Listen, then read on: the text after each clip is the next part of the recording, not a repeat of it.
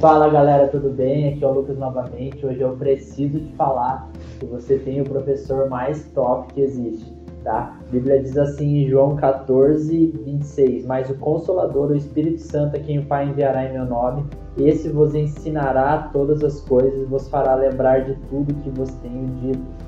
Então, é, cara, o Espírito Santo que habita em você é uma pessoa, certo? Além de ser o consolador, o ajudador, teu melhor amigo, ele é um excelente professor, o mais top de todos. A palavra que ensinará é, no original grego, ela significa didascos, tá certo? Que significa é, ensinar, ser um professor, desempenhar o ofício de professor, conduzir-se como professor, ensinar alguém, dar instrução, entre outras.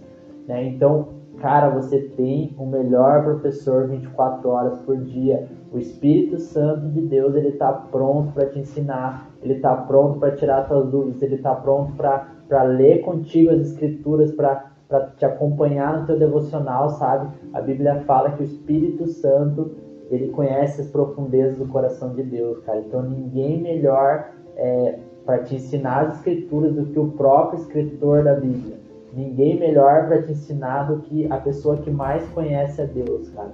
Então, sabe, eu creio sim que nós devemos aprender e nós aprendemos constantemente um com os outros, nós aprendemos constantemente com os nossos pastores, com os nossos líderes, isso é fundamental, isso é essencial, cara. É, Deus é, realmente instituiu isso, né, para que a gente dependesse um dos outros, para que a gente aprendesse um, dos, um com os outros mas você tem o melhor professor 24 horas por dia, cara. Então não há desculpas mesmo para aprender a Bíblia, não há desculpas para estudar a Bíblia, porque você tem um professor 24 horas por dia, sabe? Então quantas vezes é, eu termino de ler a, as escrituras e eu falo, uau, que aula, Espírito Santo, obrigado por essas aulas, sabe?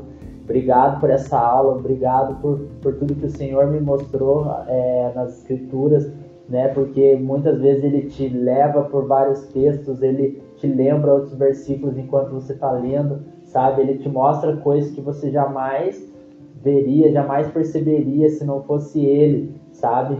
Então, cara, tire suas dúvidas com ele, não tenha medo de perguntar, pelo contrário, ele tem prazer nisso.